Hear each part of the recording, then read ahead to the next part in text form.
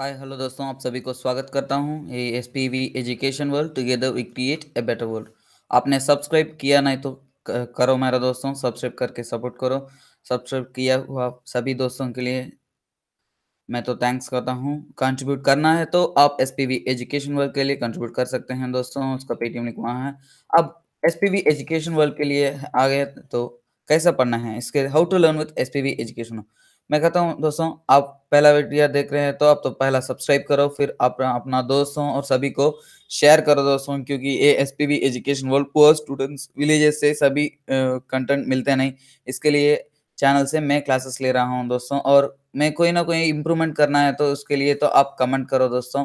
मेरा तरह कुछ काम होगा तो मैं तो उतना इम्प्रूवमेंट कर सकता हूँ दोस्तों। और अब पढ़ना है तो आप तो प्लेलिस्ट जाकर पढ़ो दोस्तों। कुछ भी पढ़ना है तो प्लेलिस्ट गया तो आपको क्लियरली मैं सेक्शनली डिवाइड करके प्लेलिस्ट बनाकर आपका दिए हुआ दोस्तों। आप अब S P V education world में क्या क्या मिलते हैं और देखते हैं। आपका नया जॉब नोटिफिकेशन आ गया तो वो भी मैं एक्सप्लेन करता हूँ सिलेबस और प्रिपरेशन स्ट्रेटेजी सभी से और कोर्सेस लेता हूँ, क्या क्या I S I P S U P S C T N P S C कोई भी एग्ज़ाम है ना, उसका सिलेबस आप ठीक से पढ़ लिया तो उस सिलेबस में क्या क्या है, उसके तरह की टॉपिक्स कहाँ हैं, आप प्लेलिस्ट में सर्च किया तो आपको मिल सकता है दोस्तों। इसलिए वैसा ही आप एस पी एजुकेशन वर्ल्ड में पढ़ सकते हैं। दोस्तों हम तो थाउज़ेंड सब्सक्राइबर्स से ज़्यादा हो गया। थैंक यू फ्रेंड्स मैं हूँ एस पी राजन आपका सभी क्लासेस मैं ही ले रहा हूँ।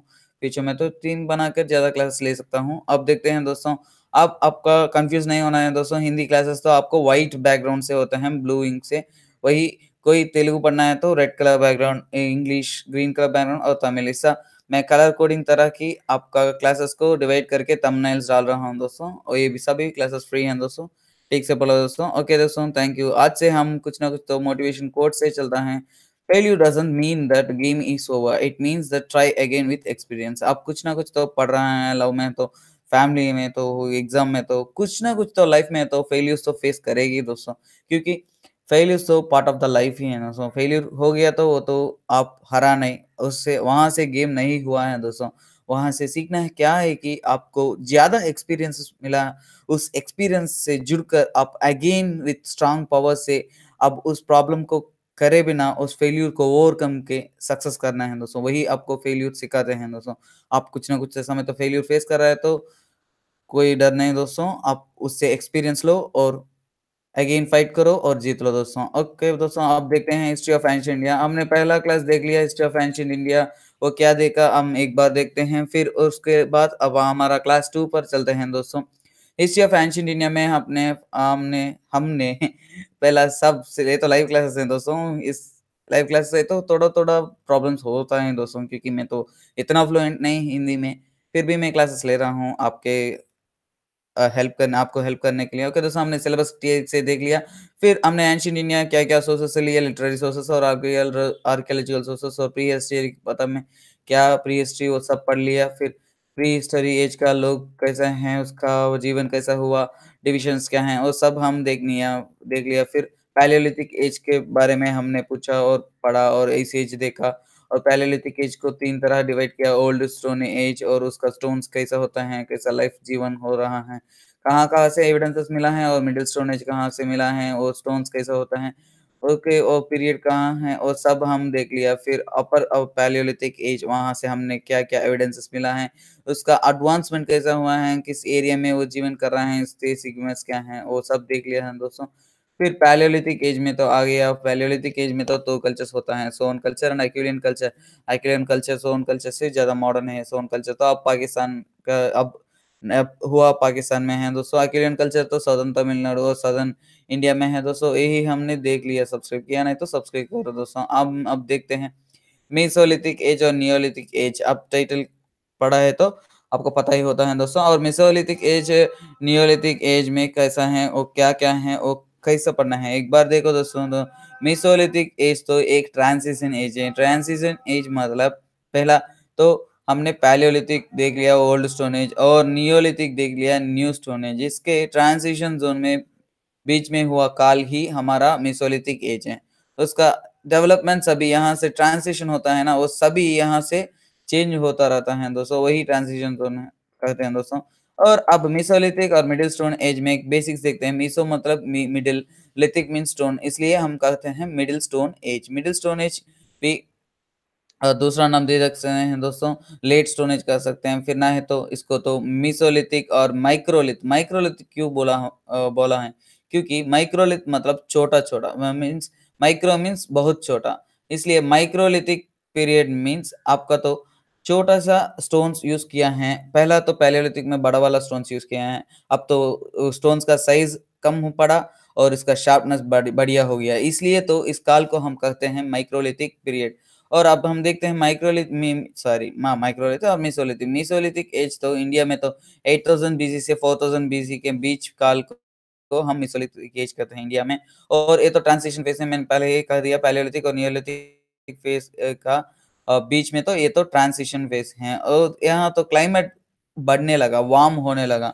हमने पहला देखा है ना, पहला तो क्लाइमेट तो आइस एज रहा, इसलिए कूल और आइस कवर हुआ है अर्थ को सभी प्लेसेस में।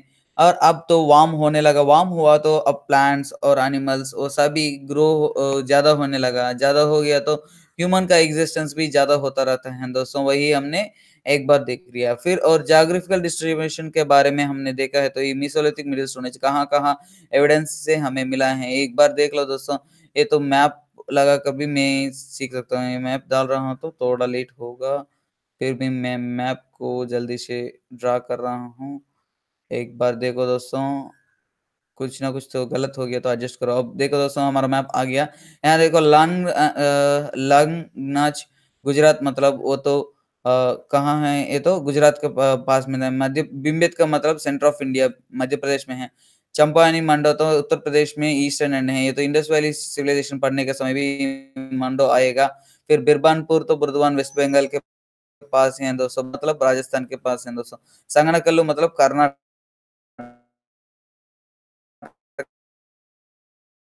है पास और भी हैं दोस्तों इसलिए इसके बारे में हमने ठीक ने पढ़ना है। ये सभी एविडेंसेस हैं वहाँ से हमने तो मीसोलिथिक एज और मिडल मिडिल स्टोन एज का एविडेंसेस तो हमें मिला है दोस्तों। और सेटलमेंट्स ऑफ़ पीपल का लाइफस्टाइल देखा है तो ये, ये तो हट्स में रहते हैं वो हट्स में हम भी अब विलेजेस में देखे तो वो हम भी हम हट और वो भी अच्छा से बिल्ट हुआ हट्स उन्हें तैयार करने लगा और इसमें जीवन शुरू करने लगा है दोस्तों। और वो हट्स भी सर्कुलर फिर ना है तो ओवल शेप में सर्कुलर मतलब राउंड शेप ये नहीं, और राउंड शेप ओवल मतलब एक शेप होता है ना, वही ओवल शेप होता है दोस्तों। और बिम्बेत का अब हम, हमारा घर में तो टाइल रूफ सकते हैं फ्लैट स्टोन मार्बल से जीवन कर रहा है दोस्तों। और बिम्बेत का काल में ही, उस काल में मीसोलिथिक में ही, उसका फ्लोर्स को फ्लैट स्टोन स्लैब से वो अच्छा है, बना हुआ घर को बना के जीवन करने लगा है दोस्तों। यही मीसोलिथिक और मिडिल स्टोन एज का जीवन और लाइफस्टाइल है दोस्तों। आप देखते हैं मीसोलिथिक और स्टोन एज का सोसाइटी रिक्रिएशनल एक्टिविटीज़ और बरियल्स कैसे होते हैं? एक बार इमेज को पूरा से देख, ठीक से देख लो दोस्तों। उस इमेज से ही हमको ज़्यादा सीख सकते हैं दोस्तों। ये इमेज देख कर तो एक कौ का सिंबल है या तो कैट डॉग शीप्स और सभी का इमेजेस तो वॉल में पेंट किया हुआ है रॉक वॉल में। और यहाँ देखा तो दो बंदा है, इसके पास तो कुत्ता है दोस्तों। ये तो एनिमल्स को डोमेस्टिक करने लगा। पहले तो एनिमल्स को डोमेस्टिक करने नहीं लगा, अब तो यहाँ मिसोलिथिक एज से एज से उसने तो डॉग्स एनिमल्स शीप्स गोट ऐसा एनिमल्स को डोमेस्टिक भी करने लगा। अब सम हम, वो सभी हम इमेज देखकर पढ़ रहा हूँ दोस्तों, इसलिए इमेज को भी ठीक से देख लो, उससे हम ज़्यादा सीख सकते हैं दोस्तों। और देखते हैं, यहाँ तो रिवर है रिवर के पास तो ये छोटी वाली फिशिंग कर रहे हैं और ये लोग हंटिंग करने के लिए जा रहे हैं। यहाँ लोग तो कुछ ना कुछ तो गैदर करके फ्रूट्स वेजिटेबल्स और ग्राउंड ग्राउंडेड वेजिटेबल्स सबको लेकर यहाँ इकट्ठा करके जीवन कर रहे हैं। दोस्तों, यहाँ तो हट हैं, यहाँ तो फॉरेस्ट हैं, यहाँ तो कुछ ना कुछ तो एग्रीकल्चर एक्टिविटीज़ छोटे से एग्रीकल्चर एक्टिविटीज़ करने लगा है। यहाँ देखो दोस्तों, यही उसका लाइफस्टाइल है। इमेज से ही पढ़ो दोस्तों, इसलिए आपको ज़्यादा याद रखते हैं। और अब देखते हैं उसका सोसाइटी कैसे है। पहला वाला तो पैलियोलिथिक उसी एज में तो कोई कोई लोग सेटल नहीं हुआ है। यहाँ से लोग तो सेटल करके फिक्स्ड सेटलमेंट्स में जीवन शुरू करना लगे हैं दोस्तों। देखो, कहाँ से गैदरर्स और हंटर्स और नोमैडिक लाइफ से, इन लोगों तो स्लोली स्लोली स्लोली स्लोली तो फिक्सड कल्चर में आ गया। और ये पीपल ज़्यादा ज़्यादा ज़्यादा से ज़्यादा हंटर्स फ़ूड गैदरर्स फिशरमैन हैं। मछली पकड़ने वाले भी हो गया दोस्तों। और ये तो मैंने कहा ना उससे तरह इतने तो डोमेस्टिक करने लगा। डोमेस्टिक तो कैटल शीप गोट उस सभी को तो डोमेस्टिक करने लगा है दोस्तों। वो स्मॉल एनिमल्स को हंट करने के लिए तो वो बाउ एंड एरो और स्पीयर्स को यूज़ करने लगा है। राम राम के पास होते हैं ना बाव अन्यर उसको हिंदी में क्या कहते हैं? मेरे को आया नहीं, फिर भी। आपको पता ही होता है दोस्तों, एक बार सोच लो। फिर वो तो ज़्यादा, पहला तो एनिमल मीट उससे नॉन वेज नॉन वेज ही खाने रहा खाने लगा है दोस्तों। अब तो एग्रीकल्चर शुरू कर दिया छोटा सा वेजिटेबल्स गैदर करने लगा प्लांट फूड्स खाने लगा। इसलिए तो धीरे धीरे से इन लोगों तो वेजिटेरियन बनने लगा है दोस्तों। वही हमने देखा और अब देखते हैं रिक्रिएशनल एक्टिविटीज़ रिक्रिएशनल एक्टिविटीज़ के बारे में हमने पढ़ा है तो पहला तो गैदरर्स और नोमैडिक लाइफ तो हंट करने के लिए वो तो जाने लगता है दोस्तों। उसके पास तो लीजर टाइम नहीं होते हैं तो हमने, हम भी पढ़ना पढ़ा हुआ समय में तो क्लासेस में कॉलेज में स्टूडेंट में, कभी ना कभी तो लीजर पीरियड आ गया तो सब लोग तो उसका कला पोषक दिखाने लगते हैं दोस्तों, कैसे है कि उस, कुछ लोग तो गाना गाने लगते हैं, कुछ लोग तो गेम खेलने लगते हैं, कुछ लोग तो डांस करने लगते हैं।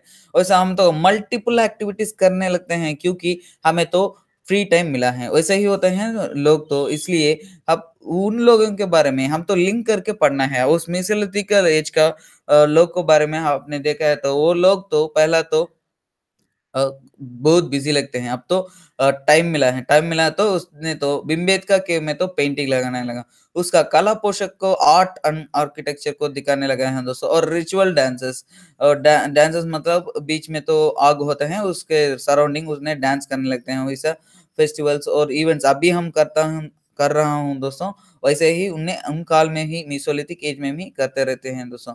और वो भी blow pipes horns musical instruments उसको लेकर, गाने गाकर म्यूज़िक लगाकर उन्हें नाचने लगा है दोस्तों। ऐसा जीवन वही रिक्रिएशनल एक्टिव उसका रिक्रिएशनल एक्टिविटीज़ है दोस्तों। अब हम देखते हैं बरियल्स बरियल्स मतलब आप मर गया तो उसको समाधि कैसा बनेगा? वो को, उसके भी डिफरेंट स्टाइल्स हैं दोस्तों। वो कैसा है हम देखते हैं दोस्तों। वो तो रॉक पेंटिंग लगाने लगा है दोस्तों। उस रॉक पेंटिंग में क्या है कि बिम्बेत में एक चाइल्ड मरा हुआ है, उसके सारा फैमिली और रो रहा है दोस्तों। ऐसा इमेज बिम्बेडकर में हमको मिला है। ये तो इमेजेस कहाँ कहाँ से क्या क्या इमेजेस मिला है, वो तो आपको याद रखना है दोस्तों। फिर देखते हैं। लंग अंज में तो ह्यूमन स्केल्टन्स मिला है, उसके पास तो क्वार्टजाइट पेपल्स वो सभी में मिला है दोस्तों। पेपल्स वो सभी तो कुछ ना कुछ तो ऑर्नामेंटल मटेरियल से हैं दोस्तों। वो भी उस, वो बंदा मर गया ना, उसके पास ही मिला है। इसके इससे हम कुछ ना कुछ तो सीख सकते हैं। दोस्तों, क्या है कि वो मरे, मरा गए तो उसके पास उसका मटेरियल्स भी रखा कर समाधि बनाते हैं दोस्तों। और अब देखते हैं बरियल्स बरियल्स मतलब एक्सटेंडेड बरियल्स हैं दोस्तों। स्ट्रेट एंड लेंथी बरियल्स को हम कहते हैं। एक्सटेंड बरियल्स फ्लेक्सड और फोल्डेबल बरियल्स फोल्डेबल बरियल्स में मतलब मैं दिखाता हूँ दोस्तों, ये देखो दोस्तों।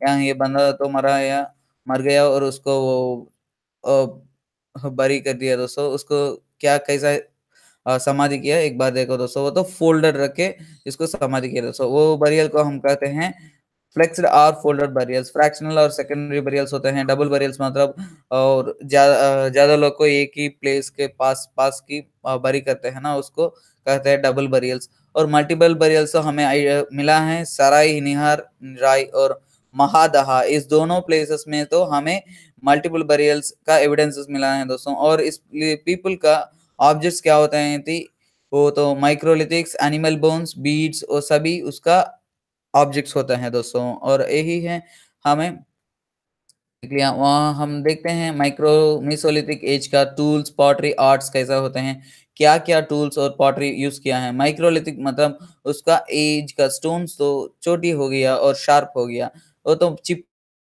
से बना हुआ है दोस्तों, इसका लेंथ भी देखो दोस्तों, एक से आठ सेंटीमीटर की हैं। मतलब बहुत छोटी सी स्टोन्स और शार्प सी स्टोन्स उससे वो हंटिंग और गैदरिंग सब करने लगा है दोस्तों। उसका टूल्स भी blades points lunates trapezes scrapers arrow heads geometry और नॉन ज्योमेट्री इस तरह की टूल्स उन्हें यूज़ करने लगा है। इसका हिंदी का ट्रांसलेशन कर नहीं सकता हूँ दोस्तों।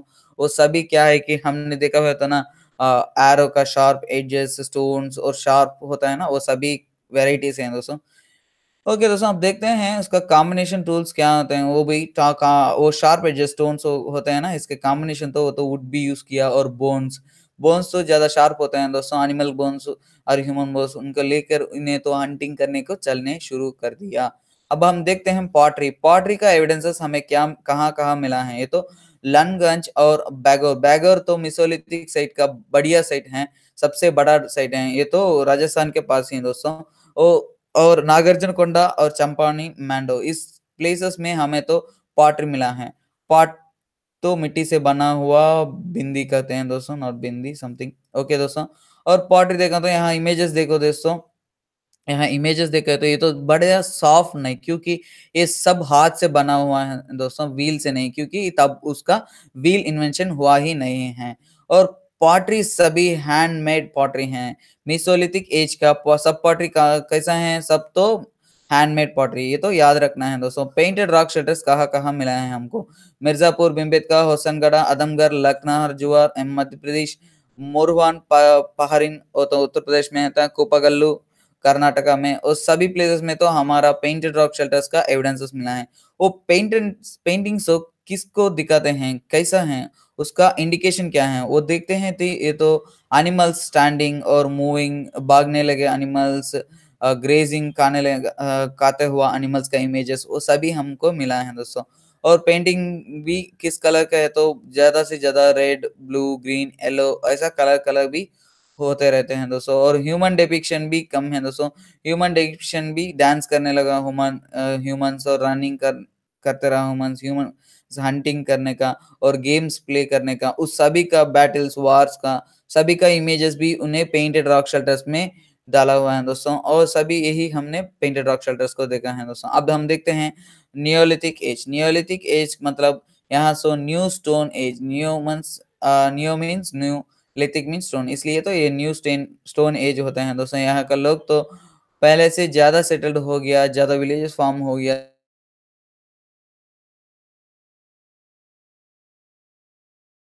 बना रहा है वो स्टिक्स लेकर आ रहा है, यहाँ तो फिशिंग बोटिंग का कर रहा है, यहाँ तो फ़िश फिशेस पकड़ा के रखा हुआ है।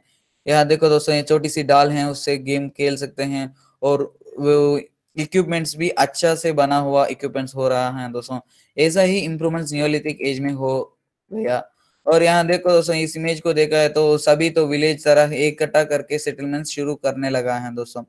और नियोलिथिक एज का बेसिक्स देखते हैं। Neo new lithic mean stone और सभी देख दिया काइंड किसने इस नाम नियोलिथिक स्टोन एज का नाम किसने लिखा दिया? ये तो जॉन लबोक ही इस न्यू स्टोन एज का नाम दिया है दोस्तों।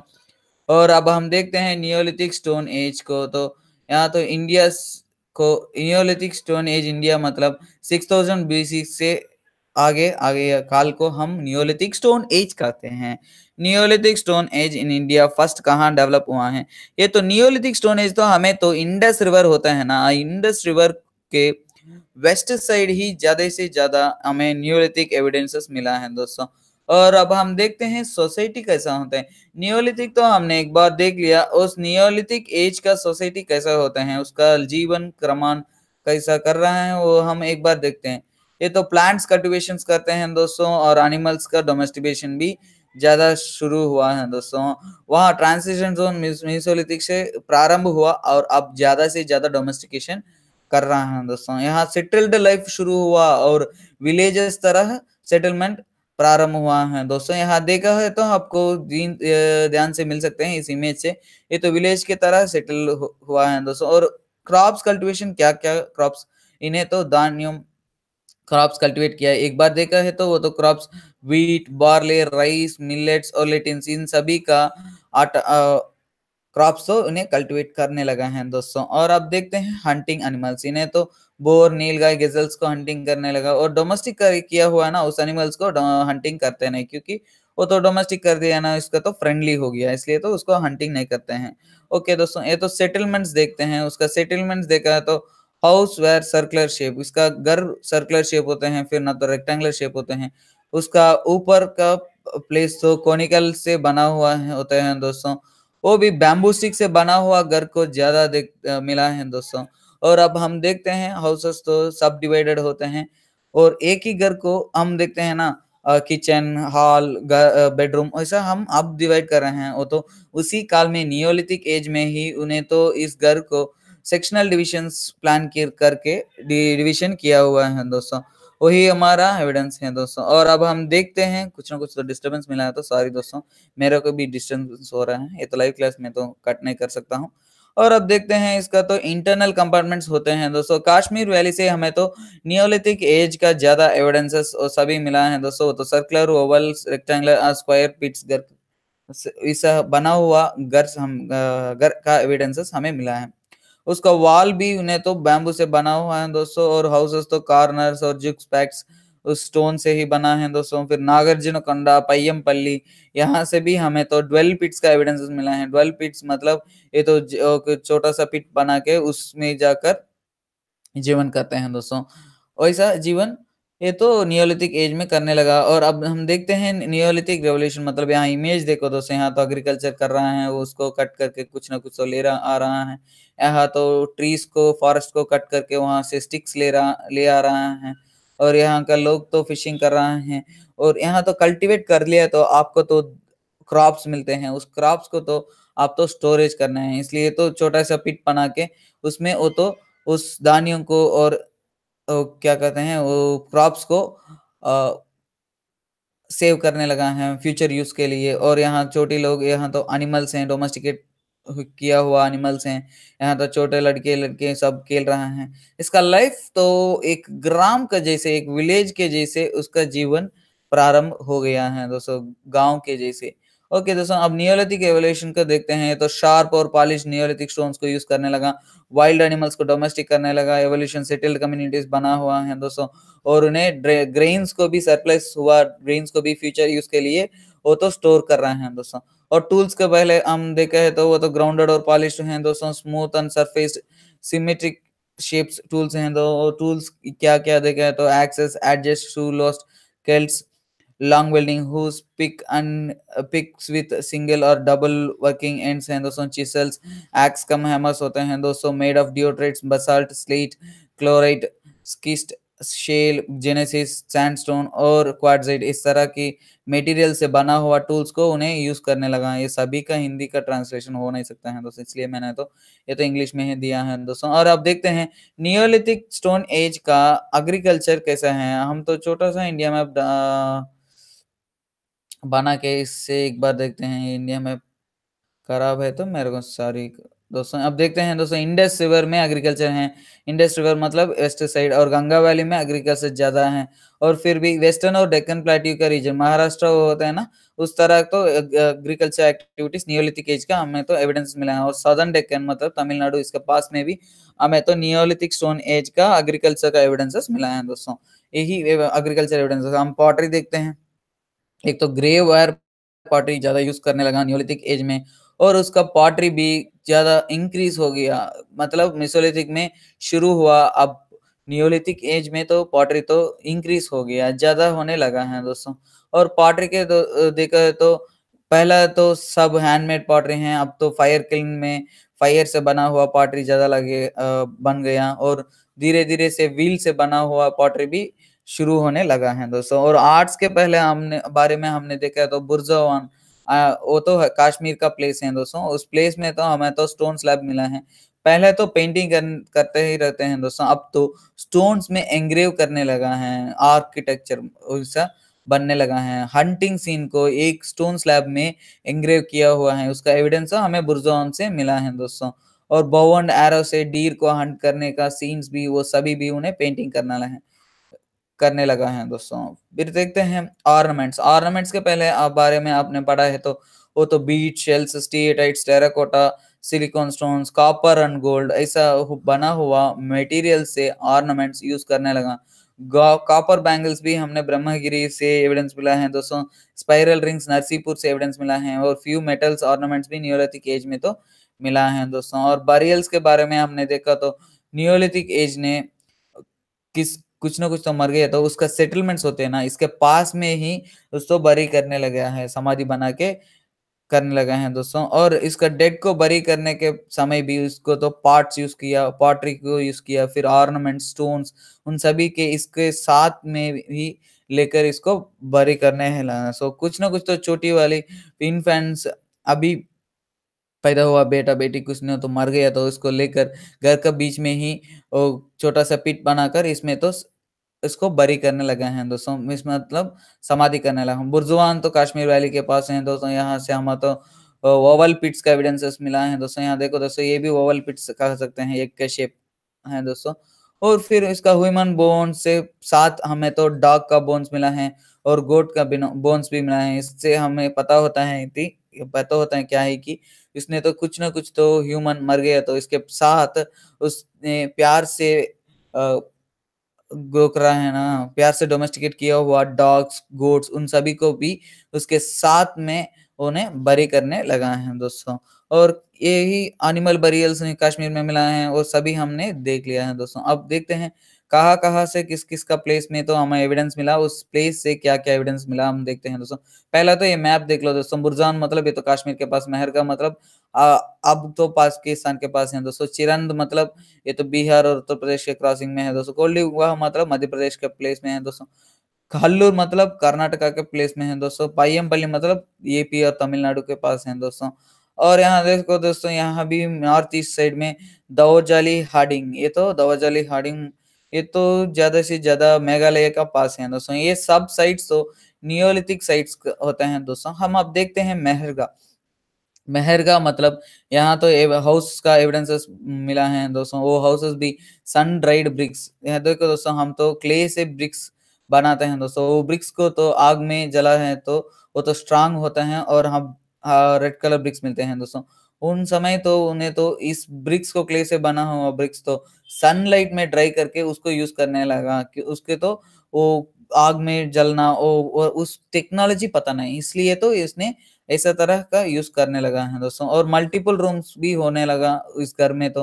वो भी क्रॉप्स कल्टीवेट किया, मेहरगा में तो वीट बार्ले कॉटन उन सभी को कल्टीवेट करने लगा। इसका एविडेंसेस भी हमें मिला है दोस्तों।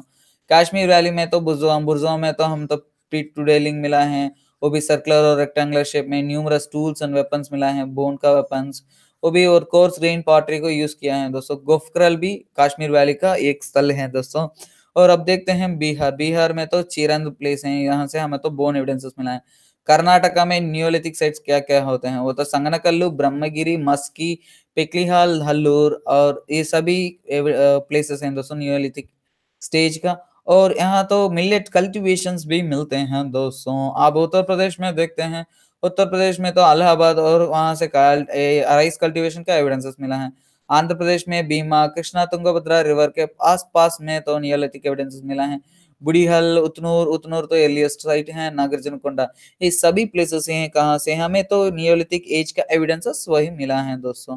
फिर देखते हैं तमिलनाडु में तो पय्यमपल्ली कावेरी प्लेसेस बेलन वैली तो कोल्डी हुआ महागारा, ये तो मध्य प्रदेश के पास ही है दोस्तों, यहाँ तो पहला डोमेस्टिकेशन ऑफ़ राइस तो कहाँ हुआ है? ये तो कोल्डी हुआ। ये प्लेस तो आप तो ज़रूरी याद करना है दोस्तों, यहाँ तो एग्ज़ाम में पूछा हुआ है, फिर भी पूछ लेते हैं, इसलिए तो आप तो इस प्लेस इसको ठीक से याद करना है दोस्तों। और सेवन थाउज़ेंड बीसी से काल में एक इसका एविडेंस मिला है। गारो हिल्स मेघालय में भी हमें तो नियोलिथिक प्लेस का एविडेंसेस मिला है दोस्तों। यही हमें नियोलिथिक एजेस का सभी सब्जेक्ट्स टॉपिक्स हमने ठीक ले पढ़ लिया दोस्तों। Thank you thanks for watching SPB education world kindly like share and subscribe to our channel subscribe करो दोस्तों और कोई कुछ ना लो तो आपको पता है तो इनको पता दो। आप ही मेरा ट्रंप कार्ड फ्रेंड सपोर्टर सभी हमारा सब्सक्राइबर्स और व्यूअर्स हैं दोस्तों। थैंक यू फॉर सब्सक्राइबिंग हमने तो थाउज़ेंड सब्सक्राइबर्स लिया, इसके लिए सब, आप सबका सपोर्ट के लिए। मैं थैंक्स कर रहा हूँ, आपका सपोर्ट से ही आपने कोई इम्प्रूवमेंट करना है तो मैं ज़्यादा वीडियोस ज़्यादा क्लासेस सभी सब्जेक्ट्स का, सभी को लेने के लिए तैयार हूँ, क्योंकि मैं ही एक बंदा हूँ, लेता हूँ क्लासेस सभी। इसलिए तो कुछ ना कुछ तो लेट होता रहता है दोस्तों। फिर भी आपका सपोर्ट से हम तो कुछ ना कुछ तो हासिल कर सकते हैं दोस्तों। Thank you thanks for watching S P education world together we create a better world signing off S P Rajan bye take care